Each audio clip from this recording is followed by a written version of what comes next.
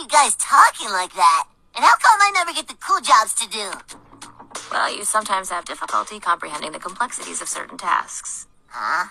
You do not understand how to carry out some assignments. What? You don't know how to do a lot of stuff, B. Excuse me? You're not smart. What? Yes, I am. I get smart.